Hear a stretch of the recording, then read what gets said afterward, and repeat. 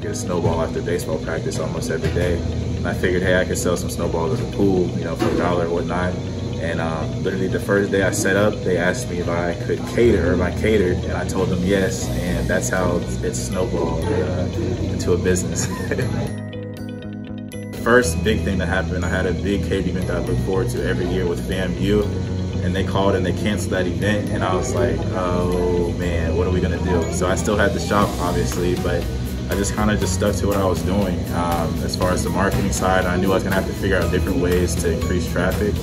And one of the things that I learned was I was always on my phone.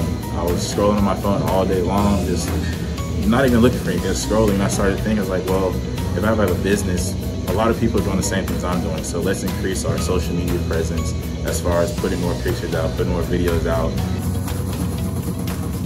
Sneauxball is not about the snowball. It's more so about the memories that we're creating when you guys are coming in. And it's just great to see the community all come together. The coolest thing to me is to have a customer come in and there's somebody else comes up behind them and they're telling them about what their favorite snowball is or what they get or, oh, I come here every single day or I get this, I try this. So that's cool to me to hear that. This is the community snowball shop. that's what this is.